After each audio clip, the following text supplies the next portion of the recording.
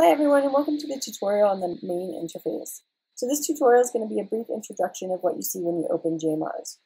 On your left hand side is your layer manager. There's actually another tutorial that goes over everything that is in this area. If you look in the bottom left hand corner, it says ocentric. These are your coordinate points in ocentric coordinates. As you move your mouse around, you'll see that those coordinates change. So those coordinates are actually your mouse coordinates.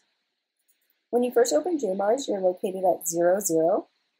If you want to move around quickly, an easy way to do that is by coming up to your long lat area and changing the coordinates and pressing enter, and then you'll relocate. The third area of coordinates is at the bottom of the screen. You'll see it still says 0, 0.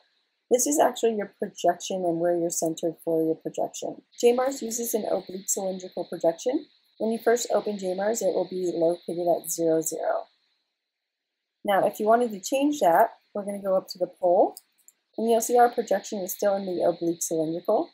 If you wanted to reproject, you can press Control R on a Windows or Command R on a Mac, or you can come up to your menu bar and say Recenter Projection. Now you'll see it recentered at the pole.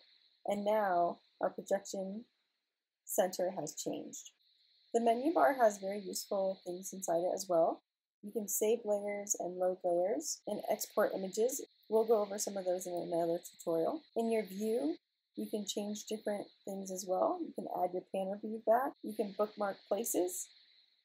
You can even select a different body. Here are all the different bodies that JMARS has.